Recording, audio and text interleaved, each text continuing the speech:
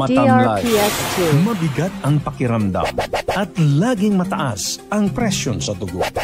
Kasangga para sa mas magaan na pakiramdam at para ma-manage ang blood pressure. Mag-Mark C ascorbic acid plus zinc DRPS2. araw-araw. Nakakatulong din ito para maiwasan ang heart disease, iron deficiency, at lalong lalakas ang ating immune system. Kaya mag-Mark C ascorbic acid plus zinc araw-araw para always kang healthy.